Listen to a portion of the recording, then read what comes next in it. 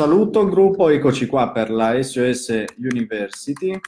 Eh, oggi parliamo di un tema eh, caro al gruppo, che è un tema, eh, diciamo, il motivo per cui esiste anche questo gruppo ed è appunto la piorrea. La piorrea è quella malattia eh, che colpisce eh, quella condizione in cui si trova il paziente, delle volte associata a carenze genetiche, eh, di difesa che colpisce appunto moltissime persone, moltissimi pazienti che portano poi alla perdita prima di gengiva, poi di osso, fino ad arrivare alla perdita dei denti in stadio terminale, in stadio più avanzato.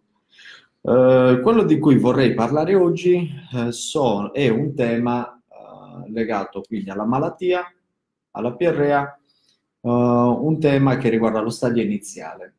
Okay, lo stadio iniziale è, sono le prime ricerche che un paziente fa su internet, magari eh, quando sospetta di avere la piorrea. No? Uh, quali sono i sintomi della piorrea? Voi l'avete mai cercati su internet anni fa questo, che ne so, sintomo di piorrea, sintomo di parodontite. Ok, con la testa fanno no. Okay. no. Con la testa fanno no, non sto inquadrando, ok, per, per la privacy non sto inquadrando. Eh, ed è ovvio questo, perché? Perché è un male silente. Quindi se uno uh, non sente dolore, non ha un dolore forte, neanche gli viene il dubbio, ci avrò la piorrea. Eh, tu prova a immaginare se eh, c'hai, che ne so, un altro male simile, la celiachia, capito? Uno non sa di avere la celiachia. Va a fare degli esami, degli accertamenti, potrebbe essere che è quello. Poi alla fine, dopo, eh, sì, c'è quello. Per uno non è che si sveglia mattina, ho un furuncolo sul viso, quello lo vedi. Ah, certo. Okay? La piorrea, se non ti viene diagnosticata, moltissimi pazienti non sanno neanche di averla. Tant'è che quando noi la diagnostichiamo, gran parte delle volte lo diciamo al paziente, il paziente casca dalle nuvole, dice io, la piorrea. Io non, non è, cioè mi si muovono i denti, è normale, l'età, ma non è la piorrea magari c'ha una piorrea in questo stadio, come qua, c'ha uno stadio avanzato, molto avanzato della malattia, dove chi ha visto non ha detto a suo tempo che c'era la malattia. Okay? E chi è che diagnostica questo tipo di, di, problematiche? Il dentista. Quindi se il dentista la vede, eh, la riconosce in uno stadio magari più iniziale come questo, vediamo che qua l'osso c'è, ce n'è ancora tanto, le gengive, ma c'è qua sopra già uno stadio uh, iniziale di parodontite, qua su, le gengive dovevano essere a questo livello e anche qua, e si stanno già riassorbendo e stanno scoprendo la radice. Questo è già uno stadio a dire il vero intermedio, dove qualsiasi paziente, se gli fai vedere i denti, non vede questo, ma vede lo spazio tra i denti dice, ah, mi si sono allargati i denti. Ah, perché si allargano anche? Certo, cioè perché si muovono. Certo, i denti perdono osso, l'osso se ne va, iniziano a muoversi e fanno così, la bocca collassa e si aprono questi spazi, questi che si chiamano diastemi. sentire caldo e ah. freddo quando vedi la via. Inizia a sentire caldo e freddo, perché le radici si scoprono e le radici qua sono sensibili. Uh, l'età, l'età poi lo, lo, spazio non è che si apre da, dall'oggi al domani, si apre lentamente, nell'arco degli anni si apre lo spazio e quindi magari si inizia anche a abituare visivamente a questo spazio e dice è normale, è il mio sorriso, è la mia, è, la mia conformazione del viso, ma la malattia sotto le gengive sta andando avanti. È un male silente la piorrea.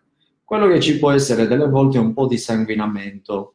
Uh, uno lava i denti con lo spazzolino e vede del sangue, dice ma magari mi sono traumatizzato lavando i denti, ho lavato troppo forte i denti un altro sintomo può essere per esempio eh, l'alitosi, no? avere l'alito pesante perché i batteri che sono qua tra i denti, in questi spazi che si aprono, eh, rimangono protetti, lo spazzolino non ci entra, in più si scollano le gengive dalle radici, i batteri iniziano a entrare sotto, dentro alle gengive e lì lo spazzolino non entra il fermentare di questi batteri produce eh, questo alito, questi, ehm, questa anidride solforosa quasi, che produce, è tipico dell'alito del paziente che ha la parodontite. Eh, è dovuta ai batteri che sono delle volte qua nelle tasche, quasi sempre, anzi, e delle volte anche nelle cripte linguali, ovvero delle fessure che eh, c'è un'associazione, delle, um, tantissimi pazienti che hanno la piorrea, quindi anche voi che siete a casa potete fare l'esperimento guardandovi allo specchio, di pazienti che hanno la lingua fissurata, lingua fissurata e hanno questa condizione eh, del tutto normale, la lingua fissurata non è una malattia, è una conformazione genetica della lingua. Parte della popolazione ce l'ha così la lingua non è una malattia, c'è chi ce l'ha, c'è chi non ce l'ha. Sì. okay. Poi c'è più o meno fissurata, ci hanno delle fessure come questa, ha, questa è meno fissurata e si deposita alla fine qua dentro alle cripte linguali i batteri, che sono poi la causa di questa malattia, sosten- che sostengono questa malattia. Questo cosa significa? Che se noi non passiamo il puliscilingua sulla lingua e non andiamo a svuotare le cripte linguali, queste fessure che possono essere più o meno uh, profonde, delle volte anche mezzo centimetro possono essere, uh, questa è una lingua normale, per esempio, vedete, questa è una lingua che non ha le fissurazioni. Vedete come una... ma non è che questa è una lingua normale, è sbagliato, è un'altra tipo un altro tipo di lingua. C'è chi ha la pelle chiara, chi ha la pelle scura, chi è giallo, chi è bianco, chi è con la pelle grossa, chi ha il biotipo di pelle sottile, per esempio. Uh, ci sono gli uomini alti, gli uomini bassi, ci sono le donne bionde e le donne brune, c'è chi ha le cripte linguali e chi non ha le cripte linguali. Queste sono lingue che hanno, per esempio, un'alta probabilità di andare a accumulare cibo, batteri, e si associano poi con la piorrea. Se più c'hai le cripte linguali, in più la carenza di fattori di protezione geneticamente, come l'interleuchina 1, allora è una festa. È molto probabile che si sviluppa la patologia, cioè che avanza. Se in più c'hai anche il dentista, o non c'hai peggio il dentista, che te la diagnostica, arrivi a 40 anni, 30 anni che già c'hai delle tasche avanzate.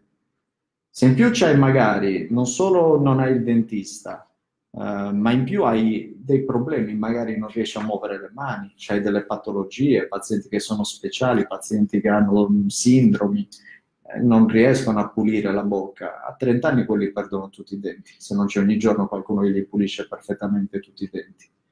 Uh, la piorrea quindi è uh, un male silente, per riassumere quello che abbiamo detto, è un tipo di malattia che deve essere diagnosticata da una figura specialistica, che è il dentista, perché se no non te lo viene a dire il vicino di casa che c'è la piorrea.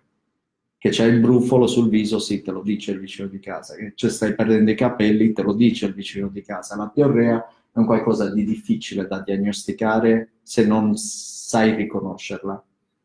Domanda. Sì. No. Prima domanda. C'è familiarità in questo? Certo, c'è familiarità tra pelle chiara e pelle chiara e figli con la pelle chiara? Certo. Quindi, biondi e figli biondi? Certo, pelle così, ad esempio, nel mio lingua caso, così? c'è parte che io sappia da mio nonno, mia mamma, noi, cioè io ho tre bambine. Con- come faccio a capire per tempo, a parte voler portarle a fare controlli, ma già la lingua potrebbe essere un segnale? Vi faccio vedere.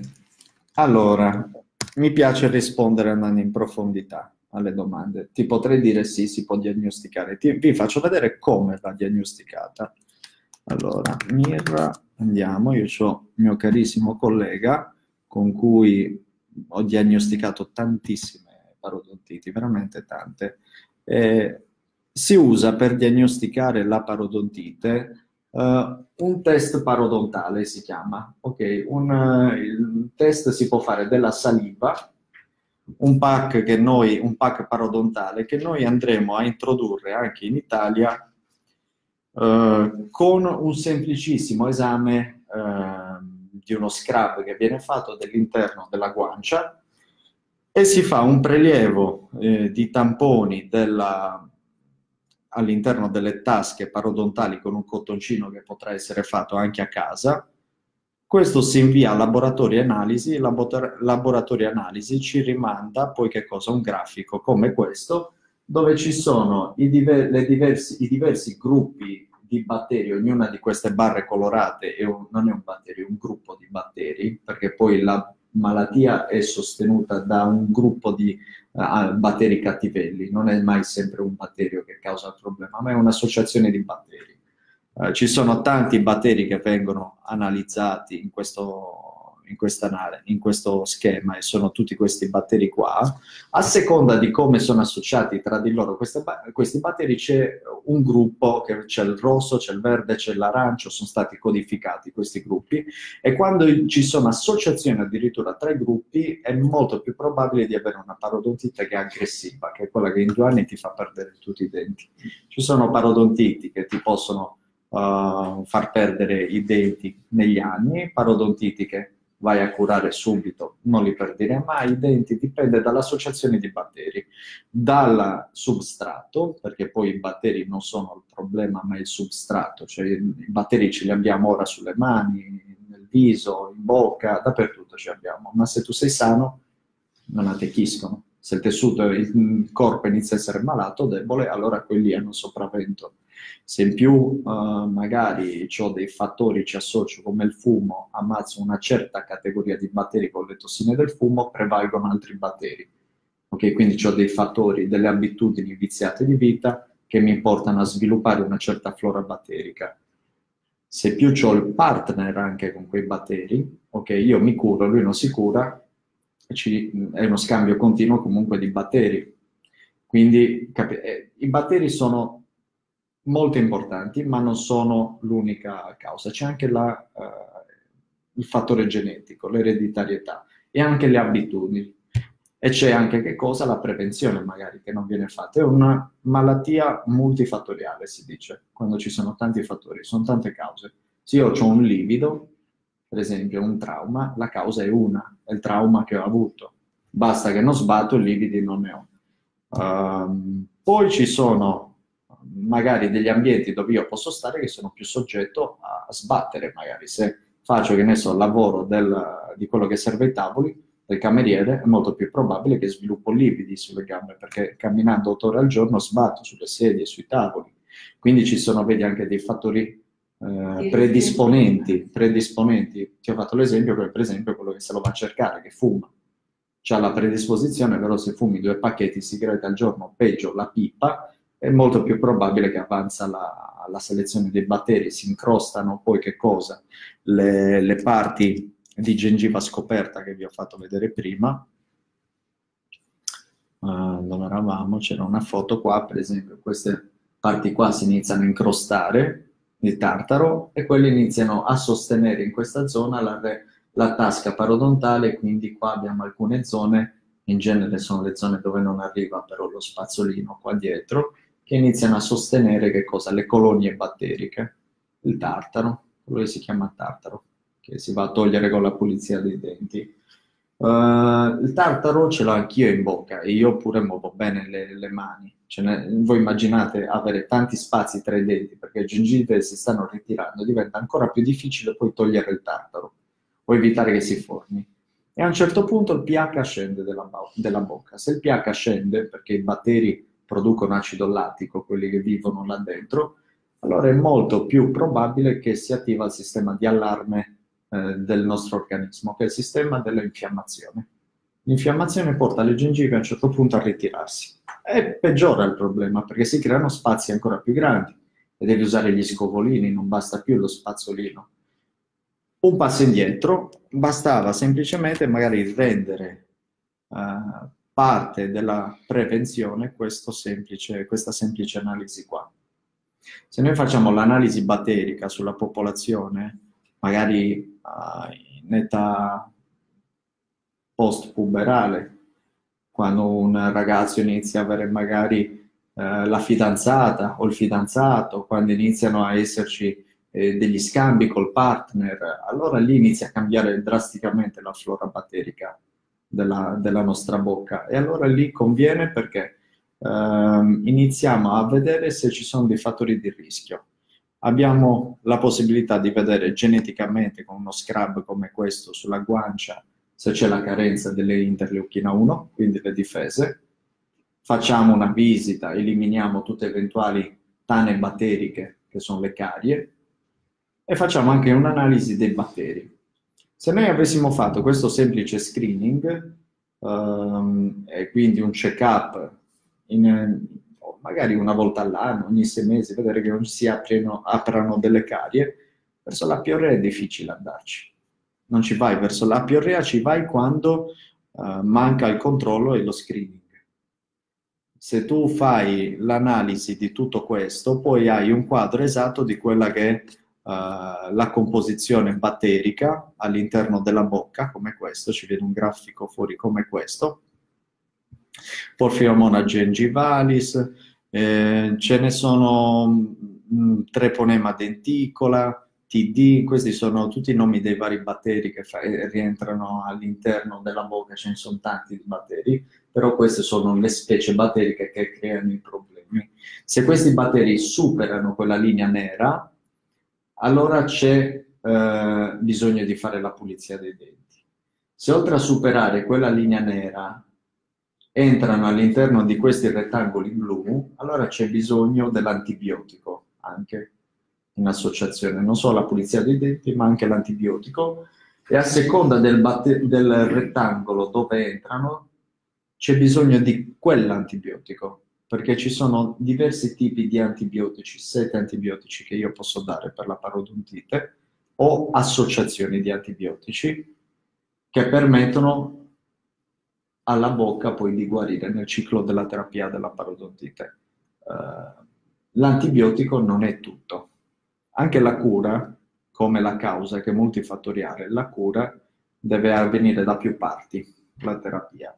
Okay? Deve essere sia dal punto di vista uh, batteriologico, contenuta la carica batterica, quindi l'igiene domiciliare. Ogni giorno bisogna svuotare dal cibo, che cosa? le cripte linguali, quindi la lingua, bisogna pulire tra un dente e l'altro con gli scovolini, bisogna pulire le superfici dei denti con lo spazzolino, bisogna uh, togliere le carie o togliere i denti, se ormai ci sono denti che sono perduti. Uh, bisogna, oltre questo, andare a fare che cosa? La prevenzione anche del partner. Okay? Perché vi ho detto prima, se io mi curo ma lei non si cura o lui non si cura, eh, stiamo facendo la cura a metà. Se eh, io curo la bocca solamente una parte, per esempio molti pazienti ci chiedono mi curo solamente l'arcata di sopra, ma se il problema è una parodontite una piorrea in stadio avanzato, eh, come sono caduti i denti sopra, cadono anche gli impianti perché sto mantenendo parte, mezza bocca in putrefazione e quindi quei batteri contagiano gli altri sopra okay? che siano radici naturali o radici artificiali, i batteri intaccano che cosa? Le superfici che si trovano esposte fuori dalla gengiva, che sono i denti o artificiali o, o reali, creano il biofilm e quel biofilm poi fa irritare la gengiva.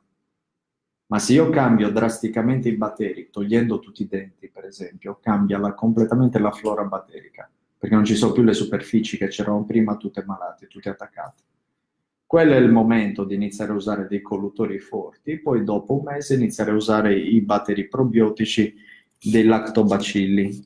Tutte queste cose ricordatevi che ce le avete già uh, nella vostra area segreta, uh, che vi arriva per mail ed è uh, area aftercare.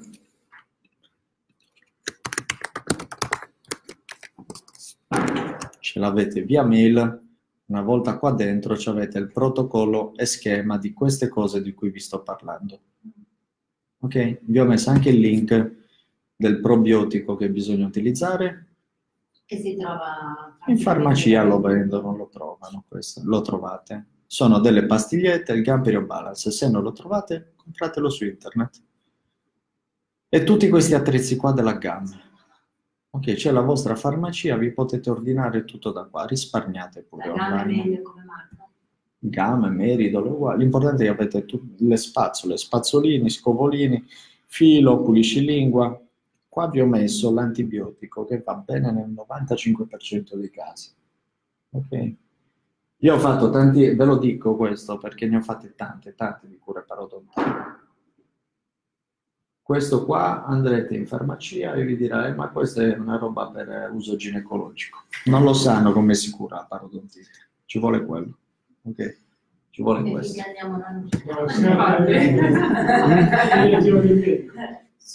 Con l'impegnativa del medico, quello devono dare.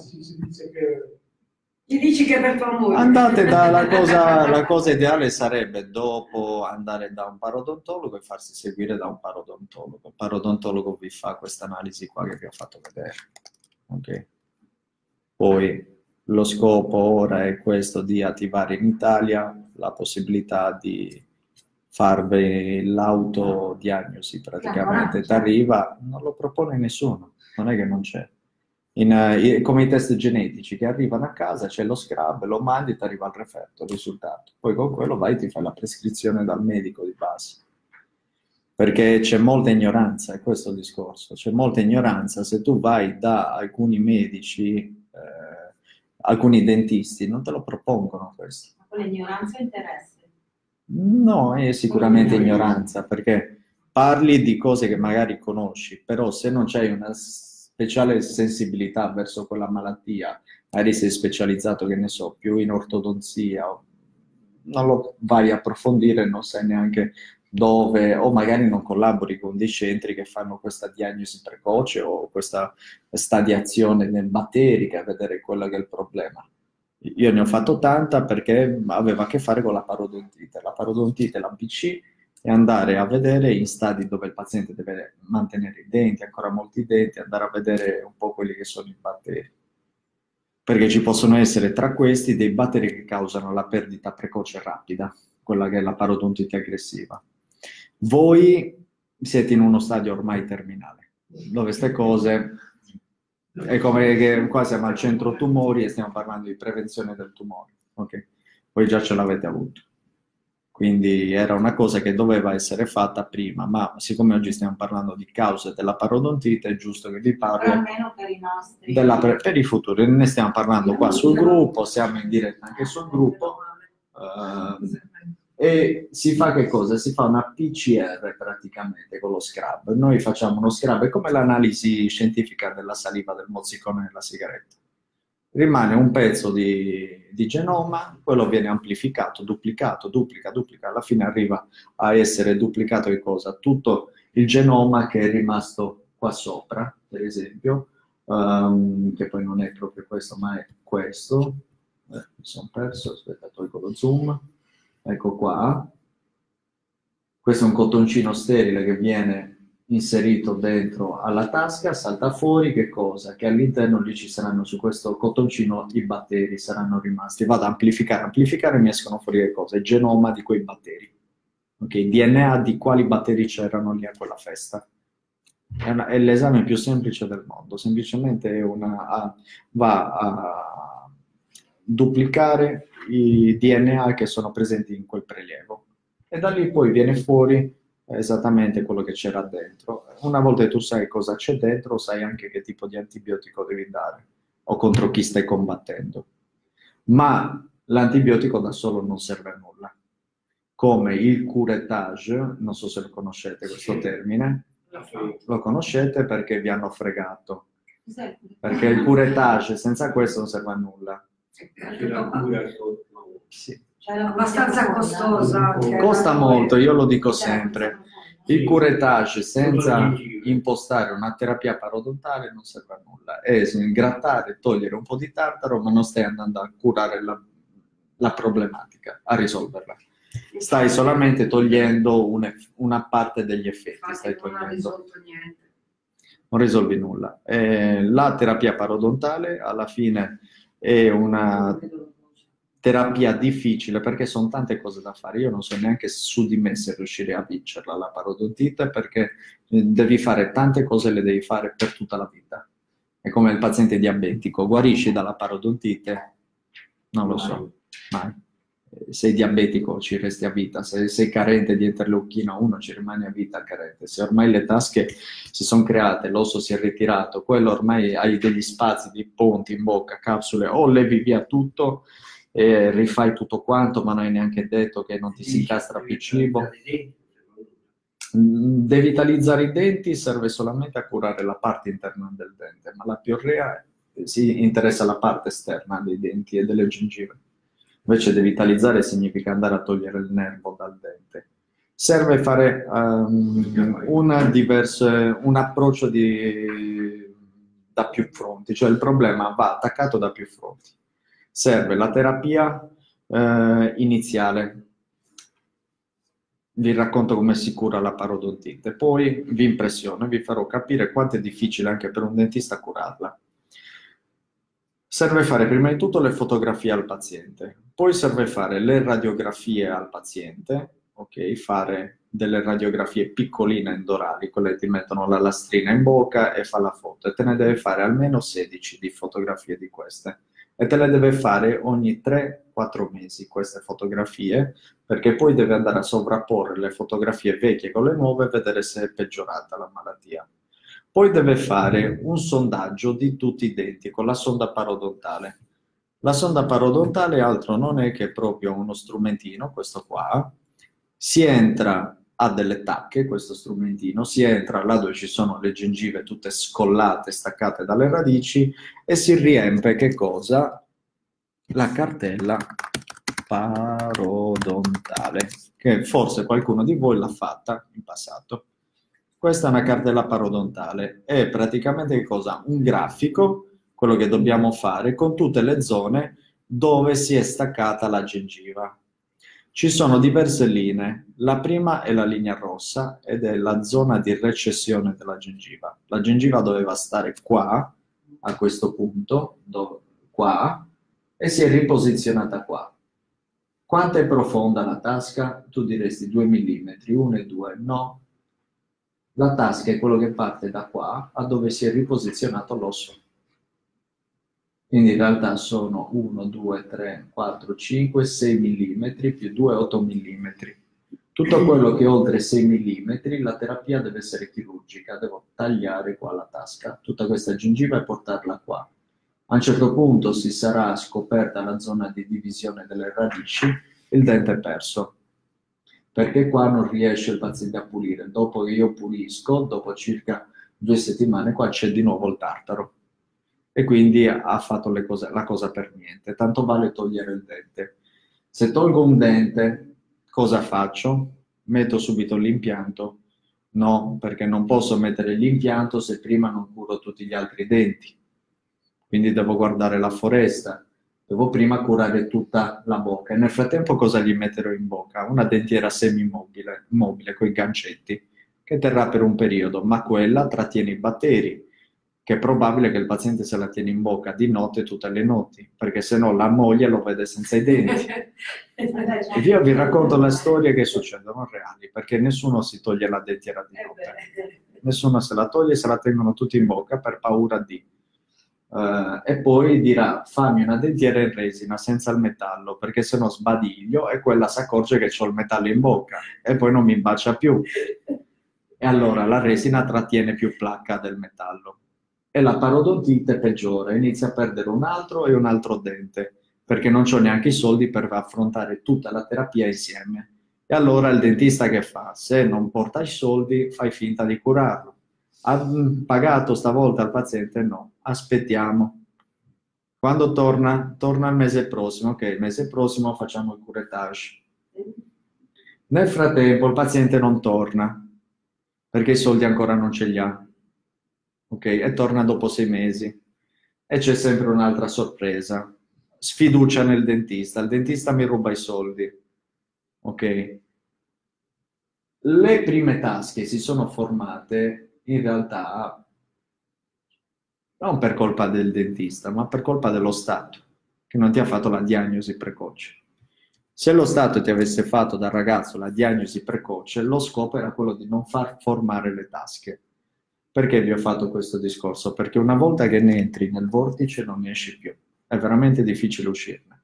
O anche se hai i soldi per curarla, e costa veramente tanti soldi curarla perché devi fare il curettage ogni 6-7 mesi, e sono 700 euro a quadrante o a bocca che può costare, alla fine ti svuota il conto in banca questa malattia, dai tanti soldi al dentista e non hai risolto nulla, e ancora devi curarla. Serve fare, vi dicevo, le lastre prima, le lastre durante, eh, fare questo schema grafico e questo schema grafico insieme alle lastre e alle foto va fatto ogni 3-4 mesi. Ti viene un dossier così alto per curare questa malattia e il paziente non capisce che la sta curando e non te la paga. La para- la- allora il dentista a quel punto si stanca anche di proporre la terapia, perché pochi dentisti la seguiranno tutta questa giostra. È una malattia che viene trascurata a livello sociale perché è difficile da curare, perché bisogna fare tante cose e bisogna prenderla anche nel tempo giusto. Se la prendi già troppo tardi, l'unica terapia è togliere tutti i denti.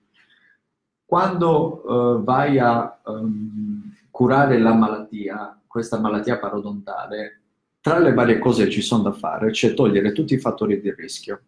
Il fumo. Quanti saranno disposti a smettere di fumare? Dottore, guarda, faccio il curettage, però non voglio smettere di fumare. Ok, facciamo il curettage, però non smetti di fumare. Faccio il curettage, l'antibiotico, ma non tolgo i ponti perché li ho fatti due, due anni fa i ponti. Eh, ma quei ponti vanno tolti perché accumulano cibo, perché i libri della parodontologia dicono che devi togliere tutti i ponti dalla bocca e le capsule. Più devi togliere le carie e i denti del giudizio. La bocca deve essere resa facile da pulire. Se la bocca non viene resa facile da pulire, il curettage li puoi fare bene, ma a casa il paziente farà l'igiene fatta male. E a quel punto sta di nuovo punti a capo. Uh, ci sono poi magari impianti all'interno della bocca che qualche dentista gli ha messo nonostante avesse già la parodontite e gli impianti ancora non li poteva mettere. Quegli impianti attorno hanno sviluppato per implantite, però li ha pagati troppo e non li può togliere perché hanno perso appena appena un po' di osso, ma c'è ancora alcune spire, ma c'ha già delle spire che sono esposte. Quelle spire dell'impianto si infarciscono di batteri e di tartaro e sostengono la parodontite. Il protocollo corretto sarebbe andare a limare tutti gli impianti e renderli lucidi, come dei colletti lucidi, questi impianti, quelli che sono esposti, che hanno sviluppato la peri- perimplantite. Ve la faccio vedere una perimplantite. Uh, la perimplantite è quando si inizia a staccare, vedete qua, la gengiva dall'impianto. Praticamente la tasca che si sviluppa attorno alle radici si può sviluppare anche attorno agli impianti perché il biofilm si attaccava qua ai denti, si attaccava. Il paziente continuava a fumare, i batteri si erano riselezionati, aveva iniziato bene, con tanta grinta, tanta voglia di cambiare il microclima batterico e poi ha ripreso le vecchie abitudini. Si crea la perimplantite prima su uno, poi su due, poi sugli altri impianti e a un certo punto la malattia riprende. La causa cosa sono? I batteri o, vi ho detto prima, le abitudini del paziente, più la predisposizione genetica. Non i batteri. I batteri non ne hanno colpa, sono lì i batteri, ma se non vengono rimossi quotidianamente oppure vengono eliminati i batteri buoni dal fumo, per esempio, quelli prendono il sopravvento e se il paziente è geneticamente debole fanno i danni. La parodontite è un male silente in più perché il paziente non se ne accorge, non ha dolore, non hai come ti fa male. Delle volte il paziente si accorge di avere la parodontite perché il dente si muove e quindi ha la percezione che c'è qualcosa che non va, perché c'è la litosi e gli dicono cioè, vatti a fare un controllo. Oppure perché ha dolori, perché le recessioni gengivali gli hanno portato a sviluppare delle carie forti che hanno portato i denti a dover essere devitalizzati. Allora ti viene la pulpite, dolore forte, pulsante, vai dal dentista, il dentista ti dice c'hai una parodontite, perché c'hai una malattia cariosa che è arrivata molto oltre. Oppure se ne accorge il paziente perché eh, ormai i denti sono tutti che sanguinano, cioè le gengive sono tutte che sanguinano. E allora c'è un sanguinamento profuso. Si sveglia magari la mattina che c'ha il cuscino proprio macchiato di sangue e dici non è normale, ti spaventi, lì vado a farmi un controllo. Cioè, vado a fare un controllo perché ho sputato sangue, uno la prima cosa che pensa c'è un tumore. non pensa più alla parodontite, pensa, va dal dottore, medico di famiglia e dice stamattina ho trovato, eh, ho visto, non so, qualche film e quando il sangue è pericoloso, penso di avere un tumore. No, c'è la parodontite, gli dico. È peggio perché resti in vita ma ti costerà tanti soldi. Ok, resti in vita ma ti costerà tanti soldi. Vai in uno stadio successivo dove eh, sai di avere un problema. Ma oggi la lezione era solamente su non so di avere un problema. Ok, come si diagnostica la parodontite? L'unico modo di diagnosticare la parodontite non lo può fare il paziente da solo, tipo andare a cercare su internet eh, 10 modi per riconoscere la parodontite. I, come tro- mm, i sintomi della parodontite. No? Vai da un dentista e fai una diagnosi. Vai da un dentista, fai l'analisi genetica, l'analisi dei batteri e il sondaggio parodontale per vedere che non ci siano delle tasche.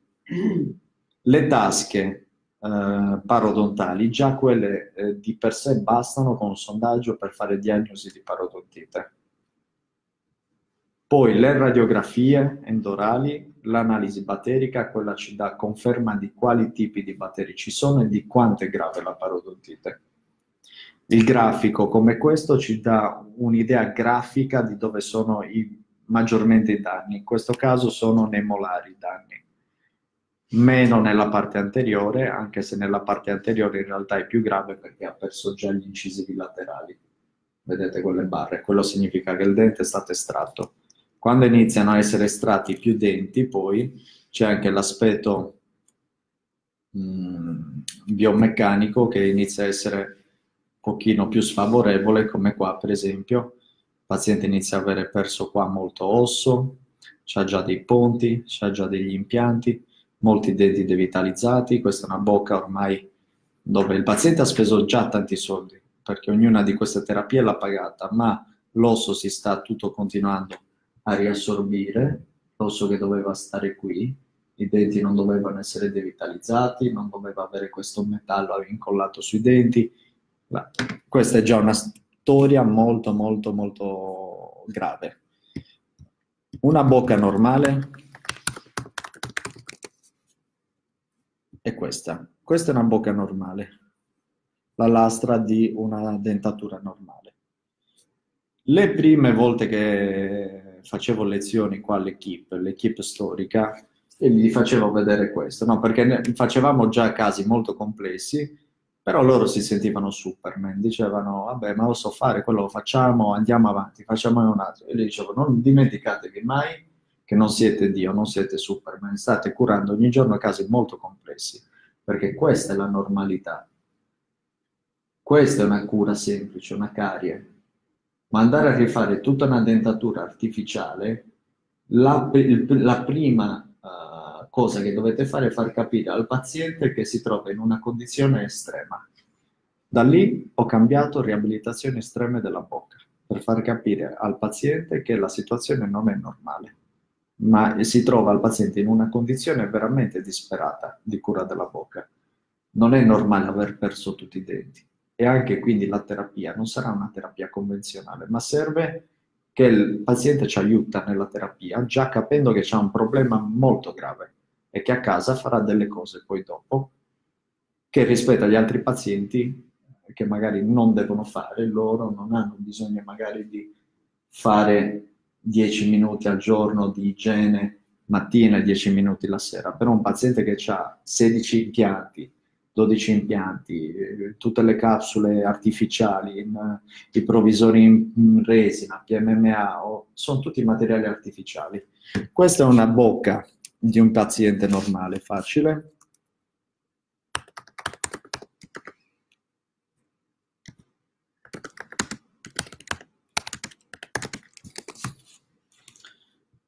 Questa è una bocca bionica.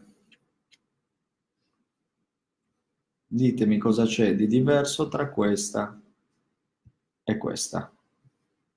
questa questi sono radici naturali che hanno sensibilità, che sono ammortizzate nell'osso, sono tutte una separata dall'altra, se una si caria non ti va, cioè se una si rompe di dente non ti va a rompere tutta la, la masticazione vai a mettere lì il singolo impianto, se si apre una carie vai a curare quella carie.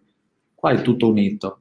Se c'è un problema di struttura, devo... Questo è un paziente che ha le gambe artificiali.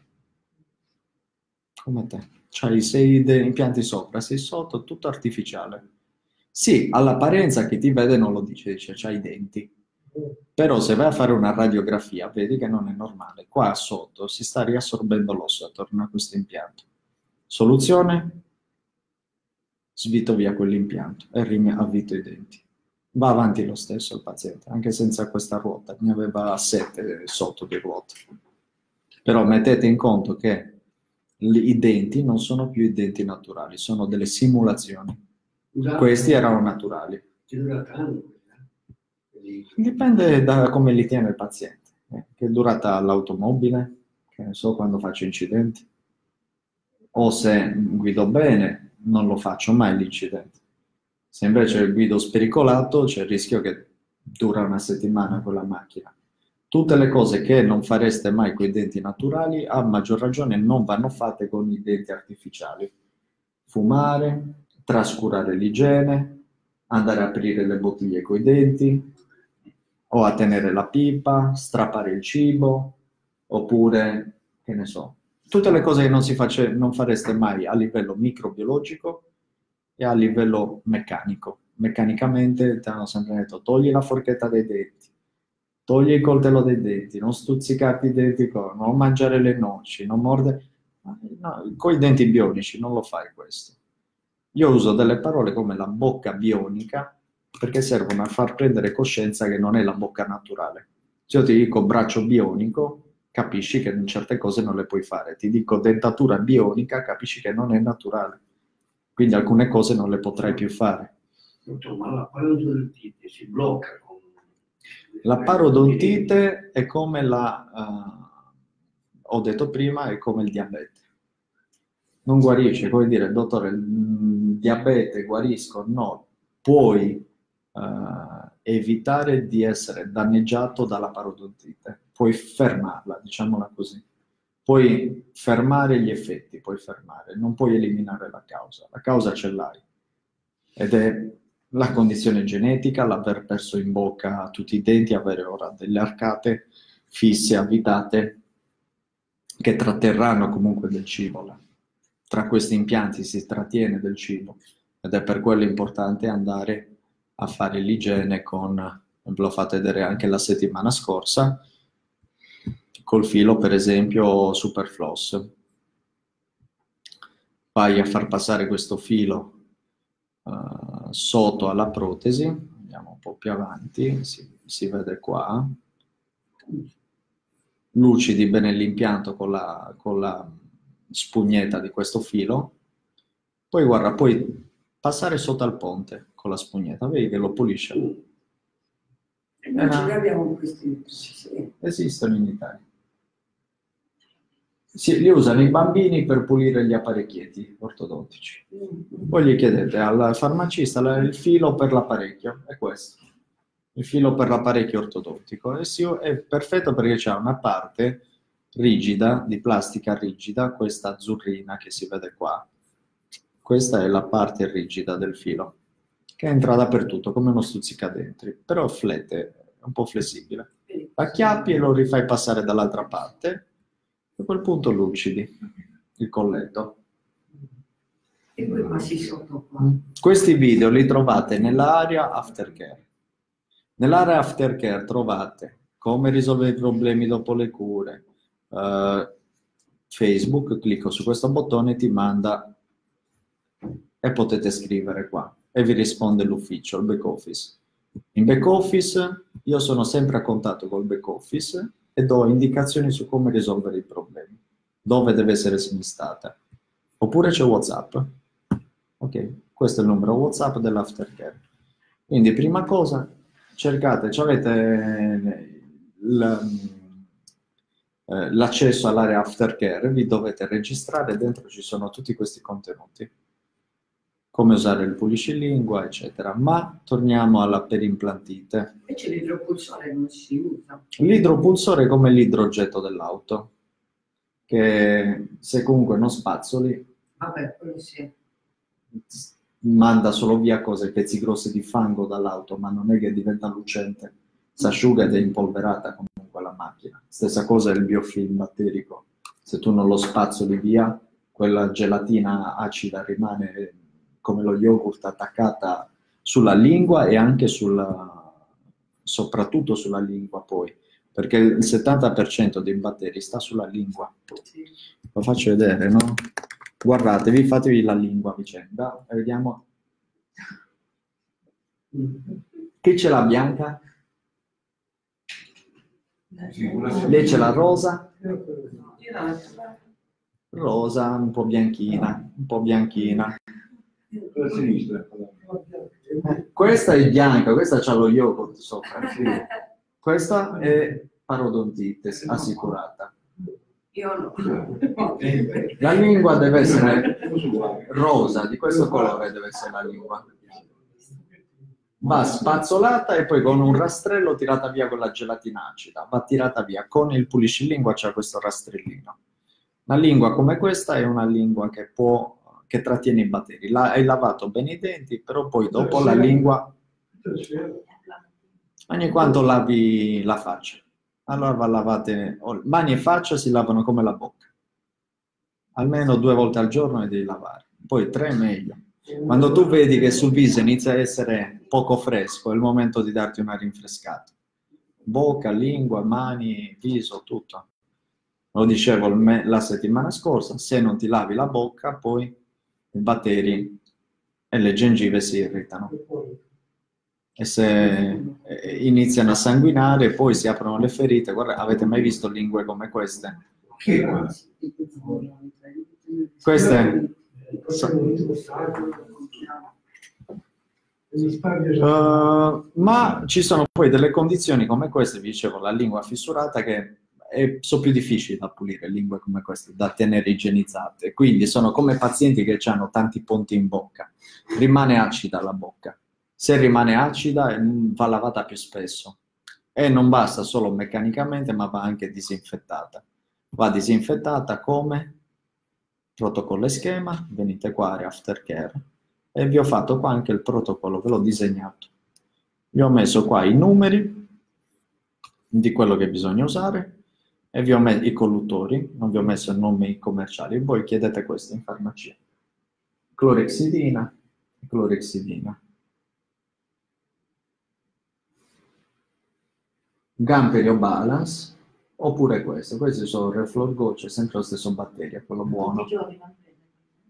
C'è scritto qua, da 0 a 30 giorni devi fare questo. Da 30 giorni a 60 giorni, quindi secondo mese, cambia praticamente il colluttorio, che invece che usare il 4 devi usare il 5, che è più, più leggero. E poi devi mettere al secondo mese il i batteri. E tu direi, quando li devo usare i batteri? C'è scritto qua. Allora, ve l'ho messo il solino, la parodontale, ecco qua, una volta al giorno. E poi, in questo periodo non fumare o ammazzi i batteri buoni, magari sostituisci con quella elettronica o usa il cerotipo a nicotina se proprio non ce la fai col mese. Cercate di, magari centro antifumo e, fa- e unite la terapia parodontale, la terapia, la ricostruttiva della bocca con un cambio di vita, come hanno fatto tantissimi pazienti. Basta, presa la decisione, mi sono tolto i denti e tolgo anche le sigarette. Basta. Tanto è come se vi avessimo diagnosticato un carcinoma ai polmoni. Siete vivi ancora, ma a questo punto basta, perché devi continuare. Avete curato, avete fatto la, tera- la terapia, non solo voi, ma anche il partner fate smettere. E fate coincidere la cosa con un bel cambio. Qua ve la spiego anche, ok? Ne ho fatto un video anche che vi spiega proprio il protocollo. E anni fa. Ero- non c'era la barba bianca. Ero meno... Eri più provato. E questa è un'area importantissima. Voi, da un punto di vista informativo, siete più avanzati perché rispetto a chi magari avrà visto in futuro questo video e si troverà in un mindset, noi lo chiamiamo uno, ovvero ci sono diversi mindset in cui una persona si può trovare, ovvero stati mentali. Non so di avere un problema. Dopo so di avere un problema, ma non conosco la soluzione. Stadio successivo. Conosco la soluzione, ma non so dove. Ok? O non so esattamente cosa. O l'on 4, o l'on 6, o l'on 6, premium, pecto, non lo so. Fase successiva, dove hanno già fatto la terapia, ok, come lo devo mantenere? Voi siete in uno stadio ormai da mindset 4-5, state andando verso addirittura il mindset 6. No, è il come lo risolvo, il problema. Ok, potrebbe esserci il problema adesso, no? È quello che già sul quale ora siete proiettati. Ci potranno essere problemi? Certo, oggi stiamo parlando anche di quello. Il miglior modo di evitare i problemi, o meglio di risolvere i problemi, è non averne evitiamoli i problemi. Usate sempre cautela quando si mangia, e smettete di fumare, e mangiate, tagliate il cibo a pezzi e poi lo masticate, non lo strappate, evitate di fare quelle cose che sforzano le protesi. Se c'è un problema, quello che vi posso dire è non andate in panico, ok? Non andate in panico perché abbiamo tutto un protocollo anche aftercare Ok, come si risolvono i problemi dopo la chirurgia, dopo i provvisori, con i denti definitivi, ci sono tutti... Noi abbiamo per ogni problema come va risolto. Non vi sto qua ora a parlare di tutti i problemi che ci possono essere perché sono tanti e ogni giorno anche io mi stupisco, ne vedo di nuovi, però c'è sempre una soluzione. Perché non abbiamo mai avuto problemi che non si sono risolti, perché sono fortunatamente piccoli problemi, quelli della bocca non sono trapianti di cuore, non sono cose... Eh, molti. Non li abbiamo contati, però sono tanti. Tanti problemi ne abbiamo tutti i giorni, abbiamo circa, io li ho calcolati, bisognerebbe chiedere, aspetta, glielo chiedo a Oleg. Lo chiediamo. A un certo punto chiuderete il cerchio, no? Le, le varie problematiche. Sì, facciamo la categorizzazione più anche le fotografie dei vari problemi, così si fa vedere eh, quello che è il problema che ci può essere e come poi va risolto. Vediamo se mi risponde Oleg, perché non ho accesso al suo... Uh, lui usa Zendesk, mi pare.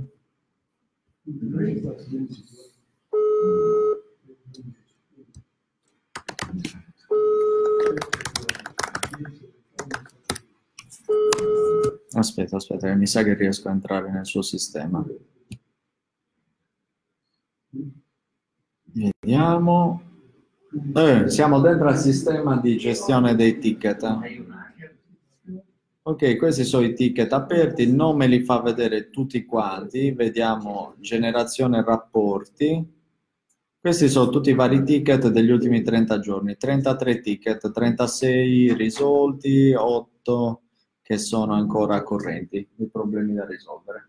Ogni ticket c'è tutto lo storico, fotografie, che sta succedendo, come sta venendo gestito, se ne occupa Oleg di questo.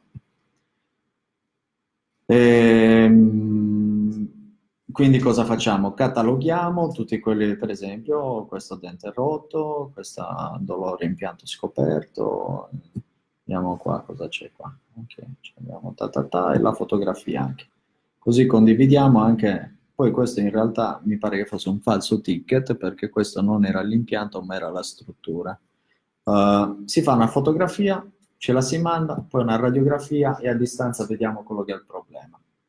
Ok, ah, poi, fa... e poi vediamo se è un problemino da risolvere col centro aftercare oppure se ci serve una panoramica, oppure se bisogna tornare in Moldavia per casi più gravi, proprio dove c'è la struttura tutta spaccata che ha mangiato le noci, allora va smontata e si riabita una nuova arcata.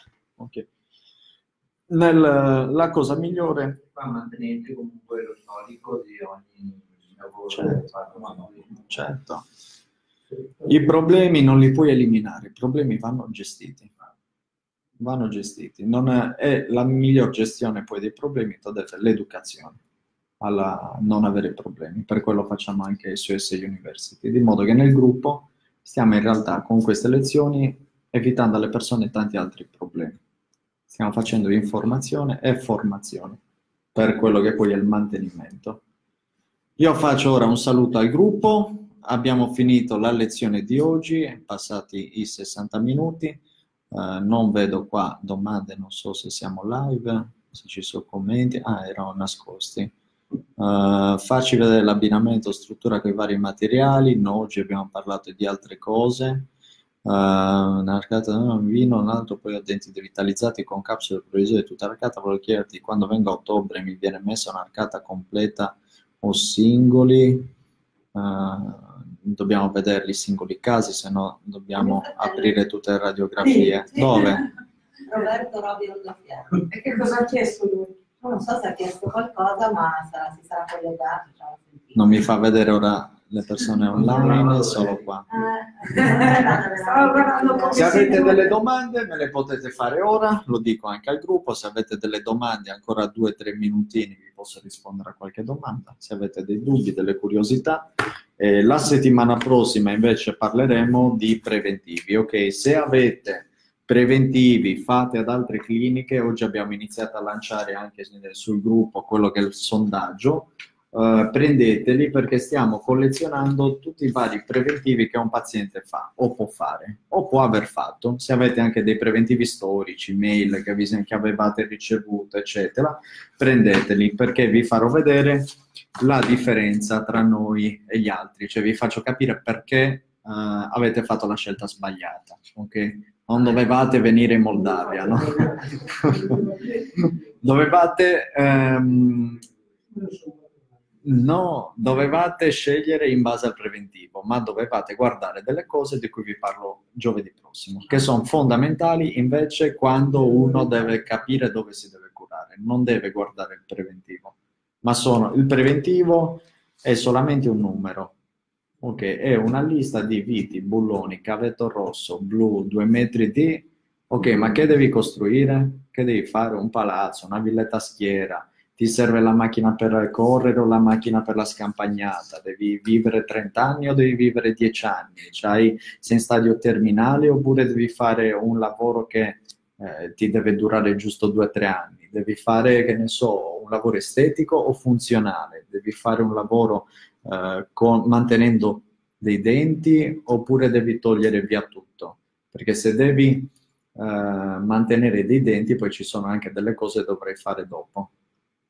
ok, se devi mantenere dei denti, che sono, come vi dicevo, cercare un parodontologo in zona, un parodontologo e iniziare a avere un po' più cura di fare dei controlli regolari, perché se no uno in realtà quando fa tutta la bocca artificiale uh, si è tolto gran parte dei problemi. Okay? Non, si è tolto gran parte dei problemi perché mantenere i denti nella bocca è più difficile. Ma ci sono denti buoni, dottore. Non ci sono denti buoni, tu devi vedere la bocca nel suo intero. È una bocca che sta funzionando o no? Che Se, se i denti sono buoni, li mantieni. Se i denti non sono buoni, nel senso che si muovono, li togli. Ma tu devi guardare la foresta. La foresta è che la bocca deve, è in dinamica, è in statica. Voi come chi, come lo sapete, Bisogna vederli, bisogna vederli. Bisogna- Buono, tocca a ferro. C'è solo legno qua. No, eh, se ci sono casi e casi, oggi ho parlato di piorrea, ma non è detto che lui ha perso i denti per piorrea, magari li ha persi per trauma, per incidente, per tumore, che ne so. Sono tante le cause, non è solo la piorrea.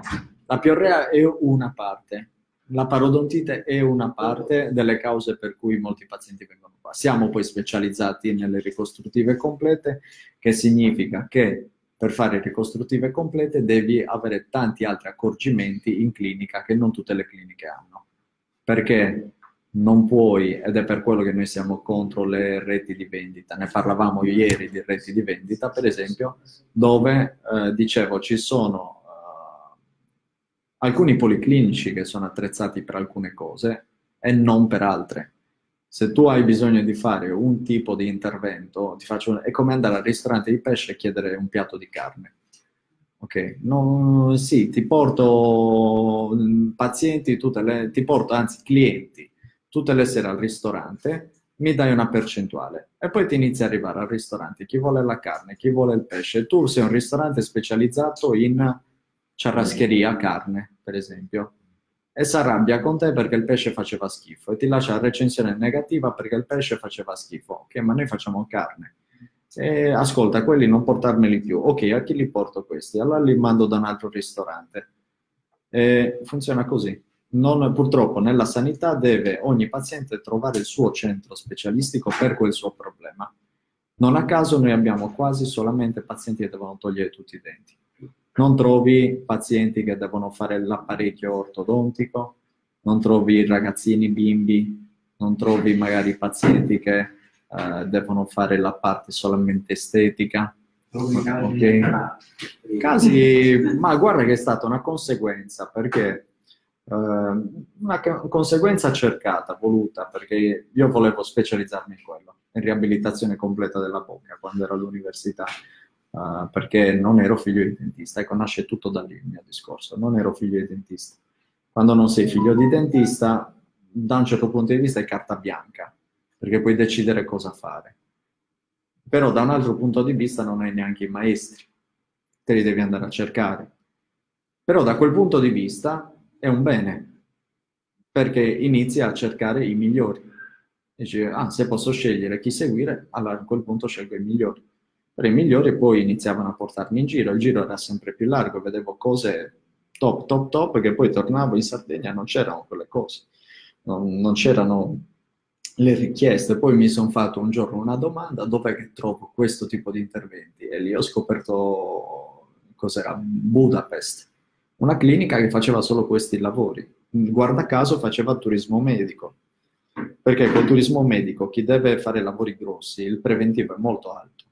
E allora apre il computer e cerca dove andare a fare quel tipo di lavoro e va a cercare delle cliniche specialistiche.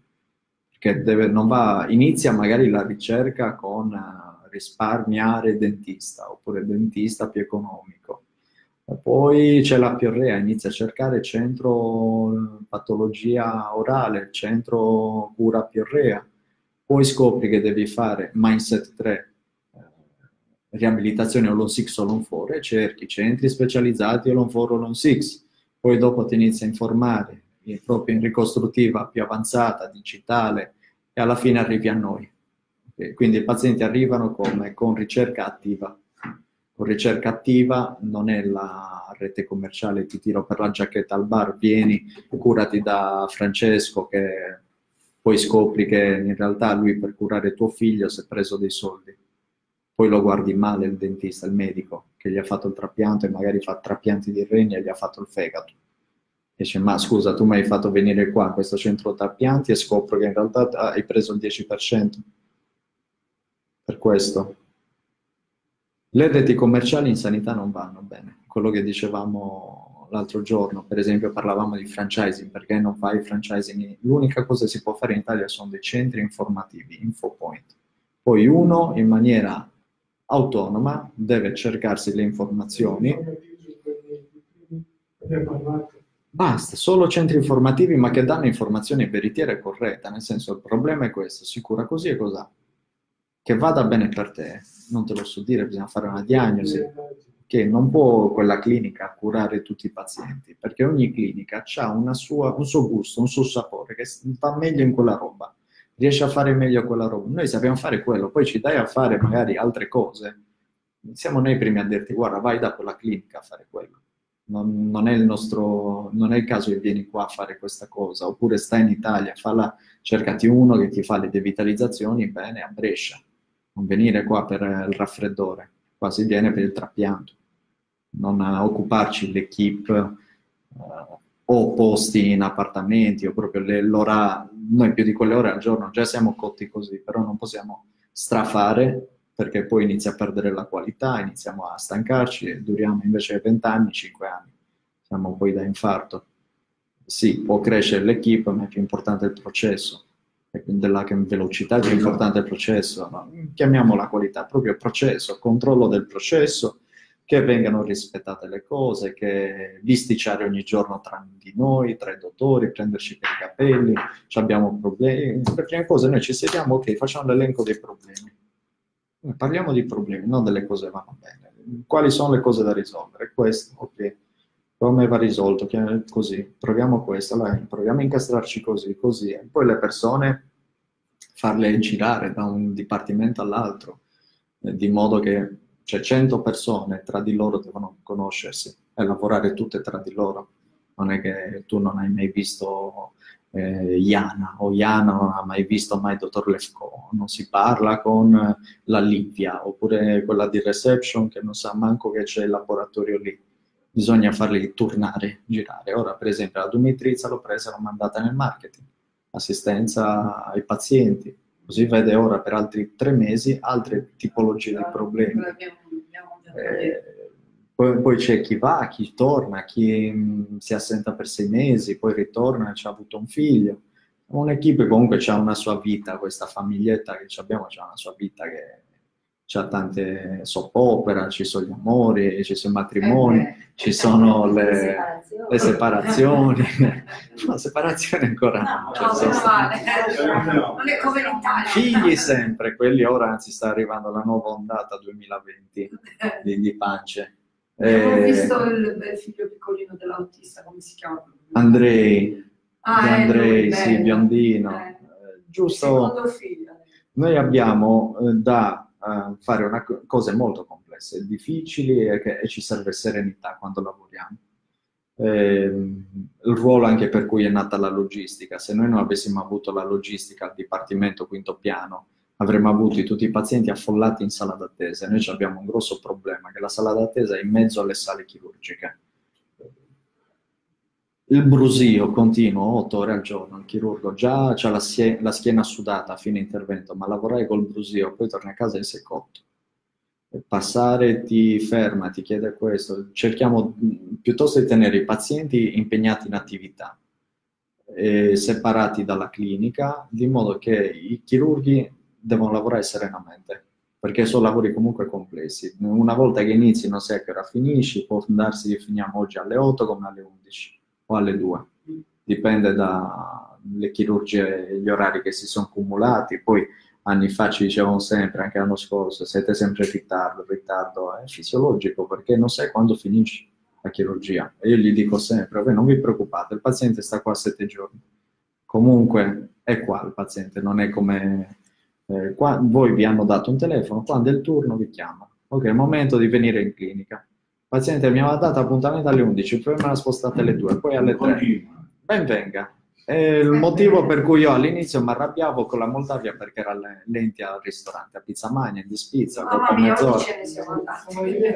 Perché te lo stanno cucinando, non è surgelato. Ok, te lo stanno cucinando. Se è una cosa rispetto all'orario in sanità, c'è il rischio o che te l'hanno dato ben cotto, troppo cotto, oppure ancora crudo. È difficile che vai a rispettare proprio il calendario chirurgico e protesico, molto difficile. O sei veramente la Ferrari che c'hai tutto iper standardizzato, ok, metti impianto a vita, stringi, chiudi, lembo, vai. No. Apri, l'attacco era così, è un po' diverso.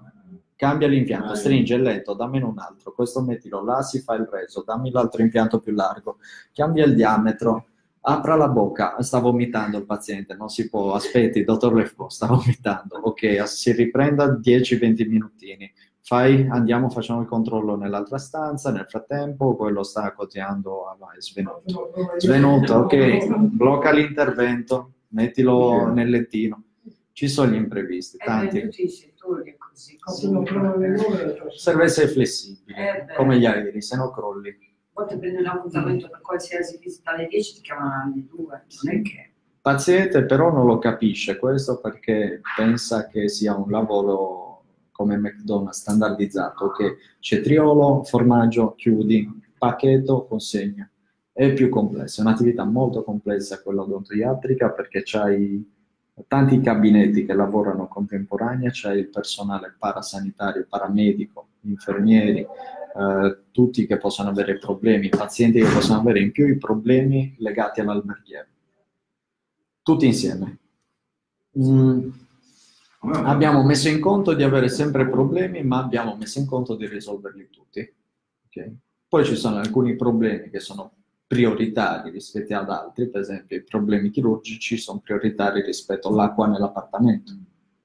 Ok? Poi ci sono problemi tipo il, che possono essere risolti con situazioni, con soluzioni di emergenza, poi soluzioni intermedie a lungo termine. Che ne so, buco la ruota del bus, i pazienti sono arrivati in aeroporto, taxi, soluzione d'emergenza. Medio termine, ruota di scorta, a lungo termine cambio la ruota. Ok, Questo è il, come risolviamo quei problemi. Ci abbiamo soluzioni d'emergenza, intermedie a lungo termine. Ci abbiamo, eh, che ne so, eh, noi abbiamo delle volte affaticamento verso maggio. Affaticamento perché noi abbiamo in Moldavia il problema della doppia festa sempre, eh, che c'è eh, Natale e doppio, perché c'è il calendario ortodosso. C'è Natale e poi di nuovo Natale, Capodanno e poi c'è di nuovo Capodanno.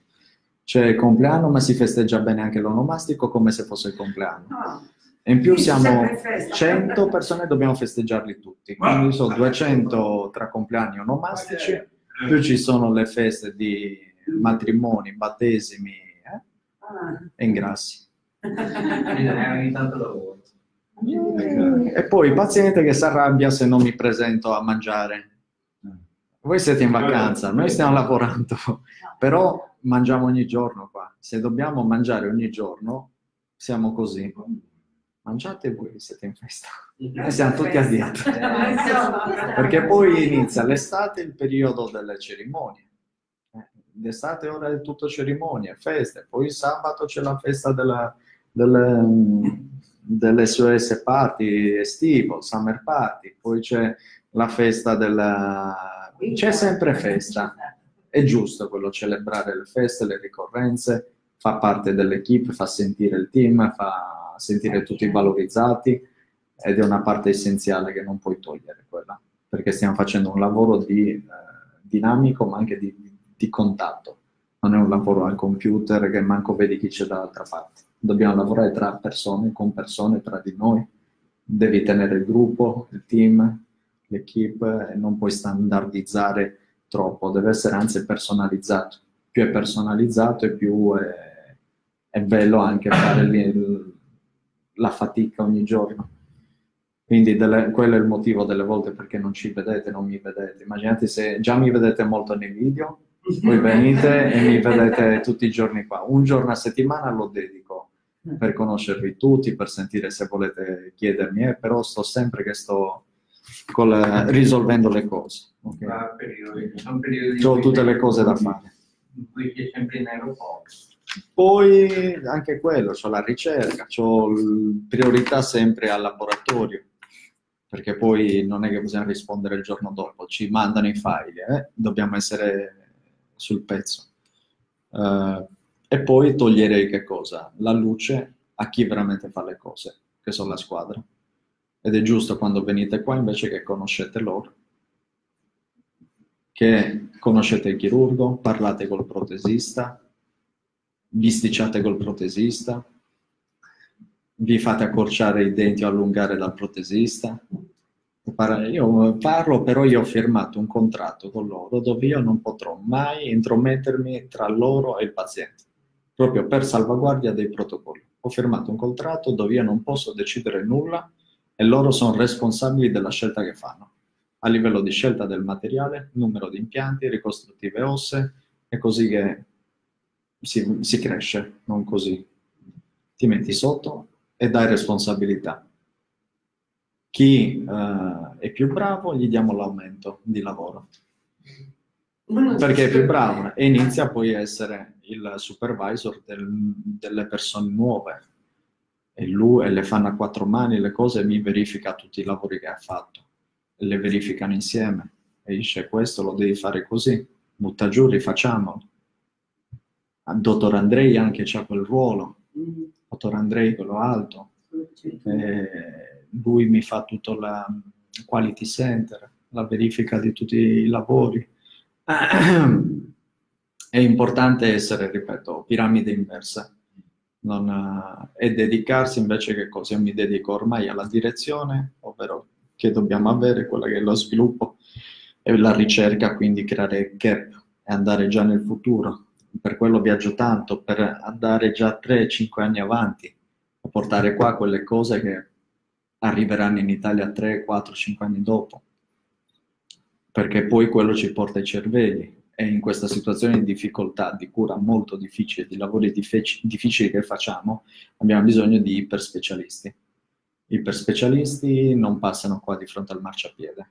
Te li devi attrarre con i gruppi Facebook, pubblicando i casi, col progetto cinema della linea superior, facendo vedere in maniera cinematografica nel mondo quello che stiamo facendo, far girare i casi eh, che facciamo a livello mondiale perché poi ci, attira ci attirano i ricercatori, ci attivano poi tutta la serie di collaborazioni con le, con le persone che stanno fuori. Okay? Nel suo caso ha fatto, ha fatto, già 16 share, sta già girando il mondo questo, questo caso qua. Anche su Odontotecnica Italia l'abbiamo mandato.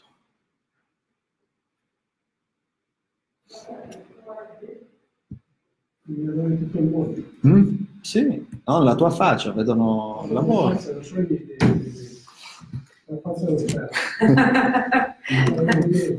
I tuoi denti stanno girando sulla bocca.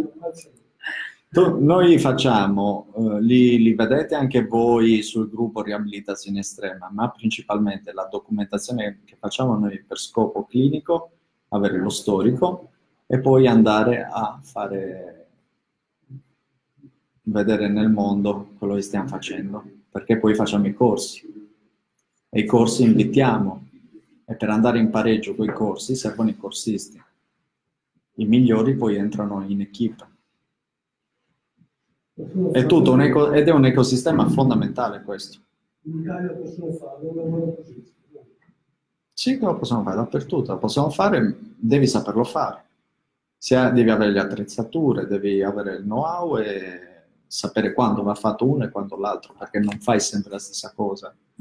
Okay? Io ve le semplifico molto le cose, ma non sono così semplici. Ci sono molte varianti di, a livello di linee dentali ci sono delle volte bisogna fare anche delle combinazioni dove fai zirconio sopra e composito sotto. Io ve le semplifico le cose perché sono molto più... se no dovrei passare veramente...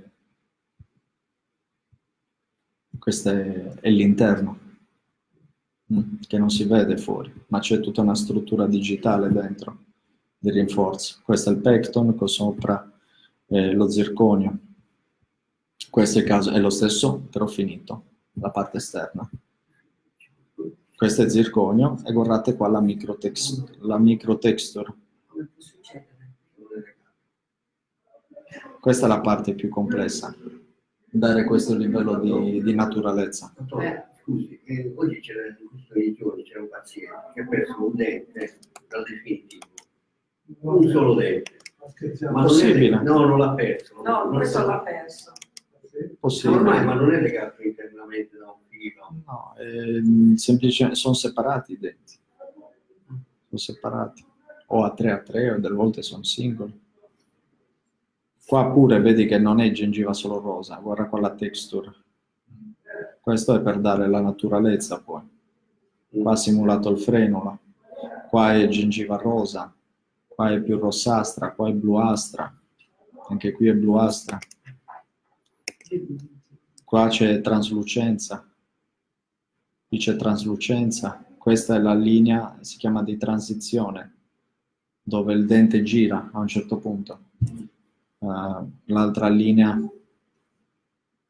qua, questo è un mammellone, separato dal terzo mammellone che sta dietro. Uh, queste foto, siamo a livello di fotorealismo, che se io compro gli impianti tu non diresti mai che questi sono artificiali. Questa è la linea superior. ok? Li vediamo solo a video oggi. Nel senso che hanno Ce li ha in bocca, ce li ha. La differenza che mi hanno detto che oggi si potevano vedere le differenze tra i vari materiali. Allora. Questo è il tipo di, di linea che fa, eh, che ci ha insegnato Phil Reddington a fare. Vi faccio vedere chi è Phil. Phil Reddington ed è colui che ha, inventa- ha inventato la BDT technique.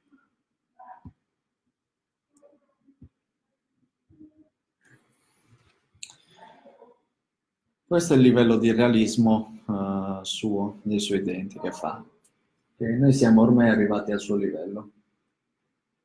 Lui per noi è il maestro, è quello che ci ha insegnato proprio a fare la linea superiore. Poi fa venuto, siamo andati.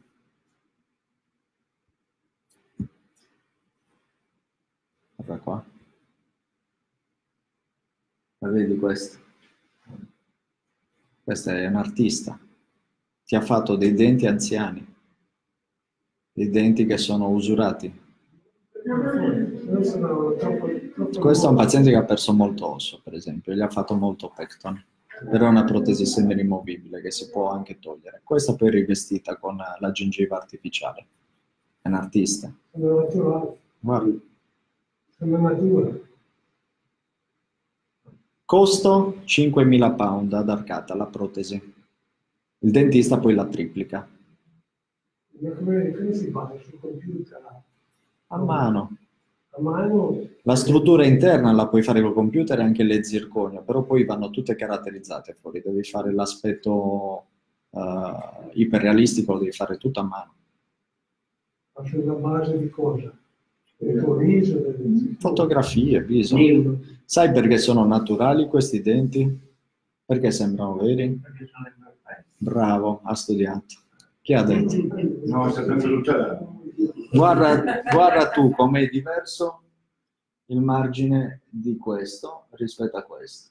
Guarda, questo è rotato rispetto a questo. Quello è sfuggente, questo invece è più rotato. Questo è più grande di questo, questo sta più giù e più rotato rispetto a questo. Guarda tu questo canino e guarda quest'altro canino. Stanno dentro una composizione regolare, ma sono irregolari tra di loro nella disposizione dello spazio. E questo ti dà il senso della naturalezza. Guarda qua, i riflessi sono diversi da qua. Questo è asimmetrico.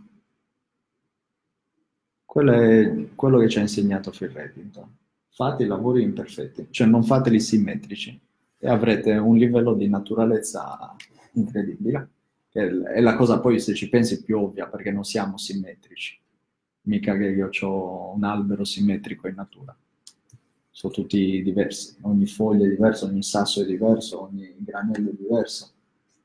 Qua c'è una piccola recessione simulata, qua c'è una recessione della gengiva simulata, qua non c'è la recessione. la pioggia. Cos'è che La teoria finta. Ah, Possiamo migliorare? Certo, non c'è limite alla perfezione, non c'è limite. Devi avere i riflettori puntati sopra a livello mondiale, per questo che pubblichiamo sui gruppi. Quando io pubblico sui gruppi, intanto valorizzo l'equipe, si sentono parte di una storia che stiamo facendo proprio a livello mondiale e si sentono valorizzati, ma in più sanno di avere i riflettori addosso e devi accellere. Un conto è giocarci la partita della fine de- dei mondiali senza le telecamere, ma se ci sono le telecamere puntate tutti connessi, dai il massimo. E questo è importante documentare tutto, fare le foto prima e dopo, perché a quel punto tutti sono costretti a performare. E questa rientra nella strategia poi di cosa? Della, del web.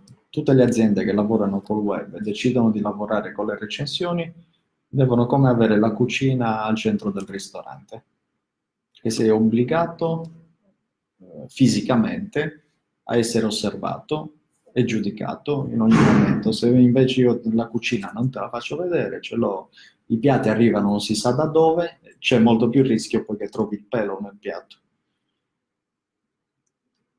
In- di contro, le attività che lavorano con internet e si basano sul sistema reputazionale lavorano molto meglio. rispetto alle altre perché sono obbligate. Noi andiamo sulla pagina Facebook, andiamo sul gruppo, poi c'è ogni tanto chi non capisce le cose, può capitare chi, ti ho detto, il pesce vuole il pesce e non capisce che è carne, fa parte della legge dei, dei grandi numeri quello.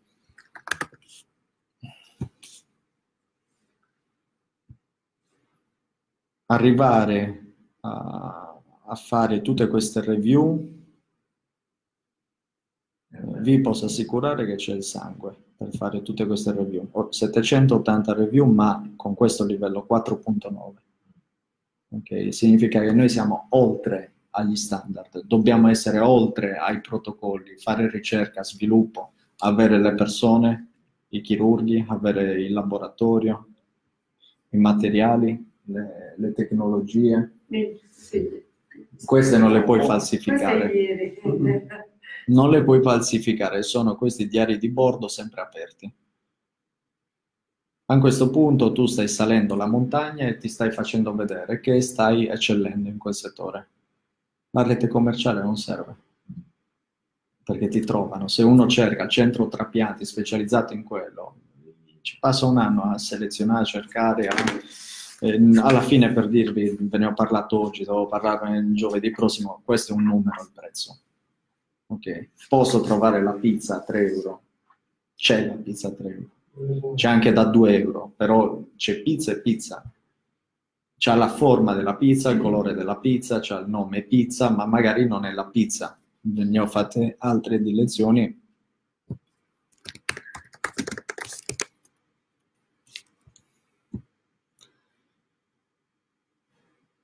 Ok,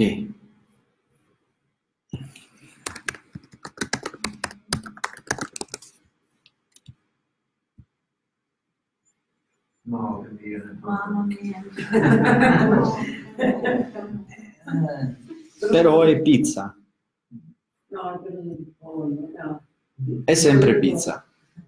Se la fai vedere a un africano è pizza. Ti dice quale vuoi? Questa ti dice. Ti dice quella, no, quella è bruciata, è nera. È, è la, questa hanno sbagliato la cottura. A me mi avevano portato un pecorino stagionato e c'era Alessia che lavorava con noi anni fa ed era sparito questo pecorino. Ogni tanto racconto questa. Mi arrabbiato perché a me piace il pecorino stagionato, ma avevano portato e era sparito. E lei l'aveva preso e mi ha detto: E quel pecorino, ah, l'ho preso io, no, ma l'ho buttato, c'aveva la muffa. Aveva la muffa e l'ha buttato, una mezza forma così di pecorino, quello sai, piccantino, proprio salato, stagionato da un bel po'.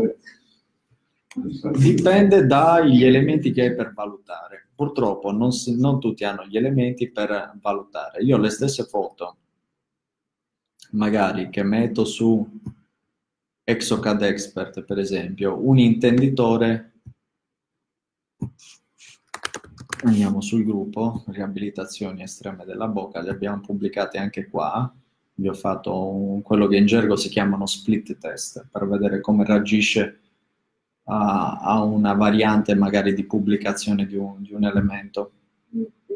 Andiamo in diretta, vediamo, abbiamo pubblicato qua il caso. Eccolo qui, 22 like. Lo stesso elemento magari nel gruppo di, di intenditori a livello mondiale fa 16 share, commenti, è. No, è che hanno l'occhio per capire la- che cos'è quello. Hanno l'occhio per capire che cos'è quella roba là, se, che pizza è. Sono i 22 like che metto sul gruppo nostro è per profani, tra virgolette. Certo. Bravissimo. Per profani. Però i profani non capiscono se questo è amatore oppure è una cosa industriale. Alcuni lo capiscono, però a noi ci interessano prima di tutto quelli, perché quelli entrano poi a essere determinanti nel processo di produzione, partnership, insegnamento, ricerca. Eh, quindi quando produciamo noi dei denti in linea superior, c'ha un- intanto mettere i denti alle persone con dei protocolli che sono innovativi, ma puoi andare a creare dei, eh, dei case study che servono per la- il teaching, che servono per il teaching e anche per attirare poi la- i ricercatori. Quando facciamo la telemedicina, lo facciamo per cambiare il modo in cui pensano le persone. Che ti faccio l'impronta qua, faccio il design a New York e li stampo qua. Ti apro la testa un po', guardate che il mondo sta cambiando, posso fare tante cose con internet. noi, è, noi gente normale, mi si rendiamo conto che quella roba di ieri non mi stacca New York. Pensi che me li ha messi in bocca, ma torno a casa con i denti. Sì, però non mi stacca New York. E ce li stanno invidiando. Noi non sappiamo perché sì. Tu pensi ho risparmiato, pensi. Noi stiamo facendo invece per... cioè. Quindi ci sono alcune cose sotto la scocca che devono essere l'anima pulsante di un progetto, che se ci sono eh, hai non solo preso un, un risparmio, ma cioè sei entrato dentro inconsapevolmente di un pezzetto di storia di una cosa che sta succedendo, che sta in questo caso rivoluzionando questo settore. Per quello io sto nella ricerca, ripeto, e mi vedete poco. Scappare. Grazie. Stai andando proprio. E, que- e ci sono belle aziende che stanno facendo come noi, eh, che stanno eh, proiettate proprio, una di queste per esempio che io stimo tantissimo, anche loro hanno quest'anima pulsante, loro sono a Timișoara, a Tetkov. Mi sono negli anni tantissimo ispirato a loro. Loro sono specializzati in estetica, però non fanno ricostruttiva completa della bocca. Io se ti dico, eh, loro sono i nostri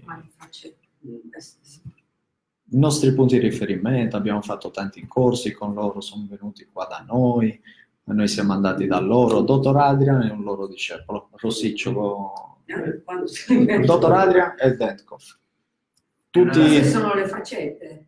sì, le faccette. Il periodo in cui hai fatto il video che eravate su un villaggio e c'erano tutte le capanne, tutti in bando, no? No, no, no.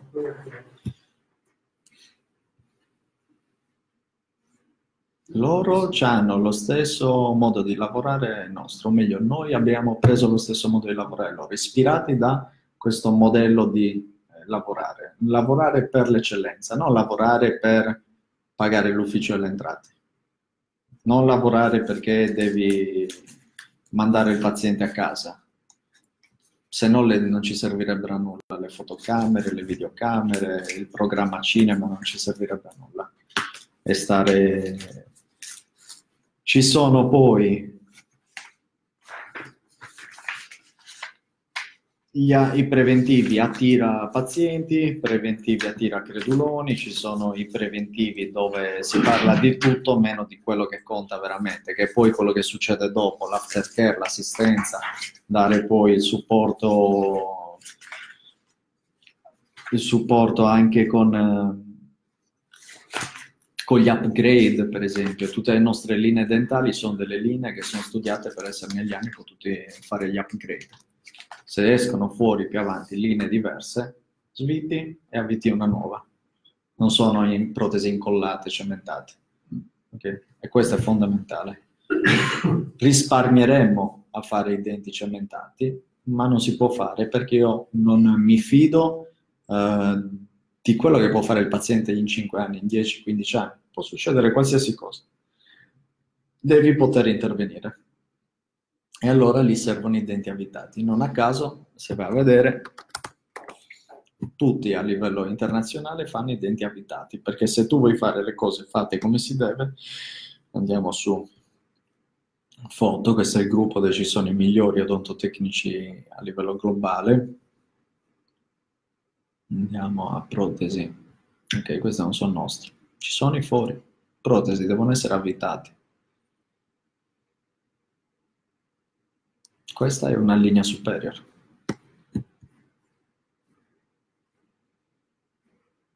Andiamo giù ancora. Queste sono dentiere. Questi sono denti avvitati. Nostri. Questo è pure un altro caso fatto da noi. Mm. Questi sono denti avvitati. Questo è un all on four. Un po' rischioso, questo è tutto zirconio, non lo farei mai un lavoro così perché è tutto Perché zirconio. È vetro, è tutto un unico blocco di vetro. Se tu mastichi qua, non c'è impianto qui dietro, ha solo quattro impianti, uno, due, quattro. Qua si rompe, come mastica qua col molare. Ok, Questo è un punto di minor resistenza ed è tutto un blocco di vetro. Non, non ha se- per quello esi- esistono le linee con eh, i denti separati che sono supportati da più impianti, che hanno il pectore, la barra di rinforzo.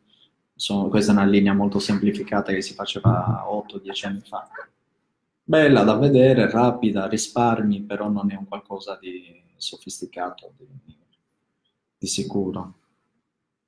Estetica, perché però si rompe. Che me ne faccio dell'estetica se strutturalmente non regge? Deve- il paziente ci deve mangiare, non ci deve solo sorridere. Andiamo avanti, vediamo, finiamo magari con un ultimo caso. Anche qua, avvitati. Questa è marcata avvitata. Eh, io ho fatto l'arcata superiore che era cimentata, togliendo, era rotto la parte finale, togliendola di vita, non so, la, usava magari il scalpello, Ha mi ha incollata. piato, mi ha piato via anche in impianto. Quindi, Male non fa. no. si rimette. Queste sono le linee di transizione, vedi, quando l'odontotecnico deve decidere le forme, qua invece si vede le- la mi- microtessitura, dai prima la macrotessitura, ovvero dai linee di transizione, dovete girare il dente, poi l'ultima cosa vai sulla superficie proprio, dai le zigrinature, le linee verticali, se il dente devi farlo un po' apparire lungo fai linee verticali, se lo vuoi far apparire largo, sullo stesso volume fai linee orizzontali. Ci sono dei piccoli trucchetti anche poi con le traslucenze per far aprire il dente più o meno cicciottello eh, e fare il camouflage. Questa è una barra per esempio, avvitata una parte sugli impianti, paziente estremo, qua ha messo gli impianti, una barra e su questa poi si incastra una seconda barra che regge la protesi. Ed è una protesi che avrà un pezzo di clip sopra e protesi tumorali questo, che i pazienti che non possono fare altre cose perché ha fatto resettiva delle basi ossee. Mm. Ci sono casi anche più complessi dei vostri dove non si può... No, questo è click clack, tic tac. Metti e togli. È come uno che ha perso tutta sta parte del viso, c'ha delle cose, togli, pulisci, lavi e ti attacchi la faccia parte del viso. Mm. Sono protesi mm, di tipo un po' diverso questo. Quello che sta facendo l'ultimo eh, zigomatico. Questo è Pecton.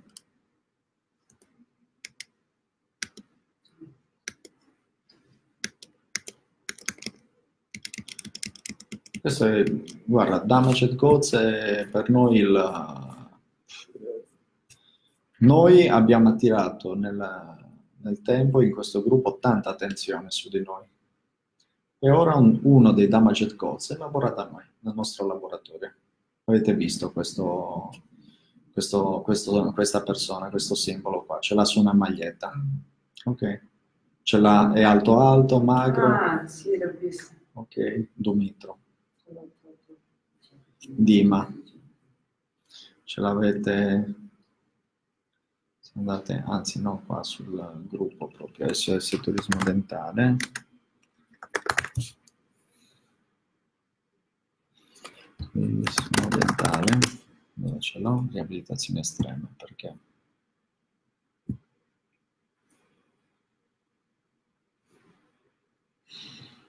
C'era una foto qua dove si vede, è giusto presentare anche le persone con cui lavoro, gli artisti.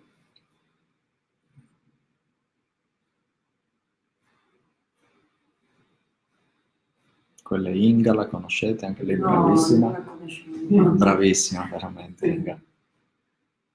Eh, È un pilastro ormai questa azienda.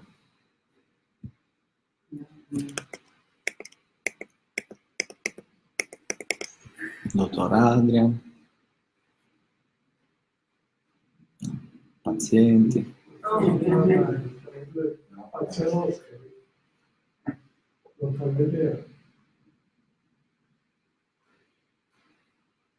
Questo è un altro caso della settimana scorsa. Infermiere. Dottor Andrei. Dottor Andrei. Un altro caso cinematografico. Una parte la usiamo in cinema per eh, comunicare con voi, con i pazienti, un'altra parte è proprio per la comunità scientifica. Eh, niente, non lo trovo qua. Io vi faccio un saluto per ora, gruppo, vediamo se ci sono altre domande, se sono arrivate. Ciao a tutti, buon pomeriggio e ci vediamo giovedì prossimo per parlare di preventivi. Quindi se avete preventivi, ok, tirateli fuori perché facciamo una puntata giovedì prossimo interattiva dove andiamo sui vari siti web di chi ha generato il preventivo e vi faccio vedere in cosa sono specializzati. Ok, vi faccio vedere con occhio più di addetto ai lavori uh, cosa fanno, perché lo fanno in quella maniera, eh, perché un, un, po' di background ce l'ho. Okay, sono stato in più di 100 cliniche quando scrivevo il primo libro, uh, li conosco tutti, li conosco, so quali cliniche, in quali paesi sono specializzate in cosa loro pure conoscono noi, però il turismo all'estero, eh, è, a seconda di dove vai, hai cure che sono completamente diverse, okay? a seconda proprio del centro in cui tu entri, cioè delle terapie diverse, perché sono aziende con missione differente e la missione è tutto poi, quella che vi ho detto può essere la missione ricerca, oppure può essere la missione eh, costruisci capannoni, scappa con la cassa.